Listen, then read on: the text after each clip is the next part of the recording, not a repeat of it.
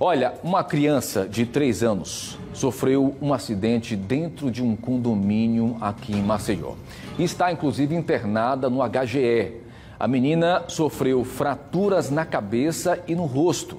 Neto Mota é quem nos conta como esse acidente aconteceu. Põe ali na tela. O caso ganhou as redes sociais depois que a mãe da criança de 3 anos realizou uma campanha para tentar agilizar os atendimentos à pequena, que teve parte do crânio e do rosto fraturados após um banco de um dos condomínios onde elas estavam virar em cima da cabeça da pequena. Depois disso, elas passaram por uma unidade de pronto atendimento, aqui mesmo de Maceió, depois vieram ao Hospital Geral do Estado e agora a pequena segue internada no Hospital de Emergência do Agreste, em Arapiraca. Agora a mãe pretende acionar a justiça contra o condomínio. Eu estou aqui para mostrar minha indignação com o condomínio, para mostrar tudo que eu estou passando, né, em relação ao que aconteceu com a minha filha, para que isso não venha acontecer com o filho de mais ninguém, né?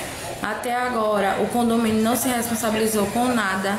Minha filha, ela sofreu um acidente, ela estava brincando, como tinha várias outras crianças lá brincando também. E ela caiu, é, o banco caiu por cima dela, ela foi subir no banco, daí o banco não estava devidamente preso, o banco não estava fixo no chão, ele estava em falso.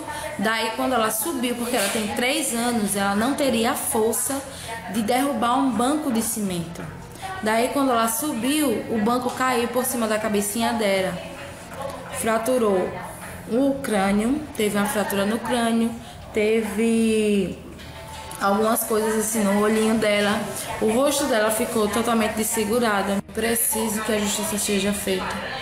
Eu preciso que nada disso aconteça mais com ninguém. Que o meu sofrimento, a minha dor, a dor da minha filha, não sirva de lição para que não venha acontecer com mais nenhuma criança. Nós procuramos então um advogado para tentar entender como ocorrem essas ações judiciais. Caso fique comprovado que houve ali culpa ou dolo na conduta da pessoa jurídica condominial, pode sim haver um tipo de responsabilização. A mãe da criança pode procurar a justiça através de um advogado e requerer ali uma indenização ou algum, algum outro tipo de reparação. Se ficar comprovado que chegou ao conhecimento dele algum tipo de reclamação de outro condomínio, reclamação formal, algum tipo de, de ocorrência com relação àquele banco que caiu em cima da criança, se já estava ali ocorrendo algum tipo de, de previsão de aquela situação acontecer e ainda assim ele não fez nada, ele pode sim ser responsabilizado civil e criminalmente. A conduta correta seria fazer vistorias, constantes nesses ambientes de, de, de áreas comuns para que acidentes dessa maneira não ocorram. Aqui do Hospital Geral do Estado, Neto Mota.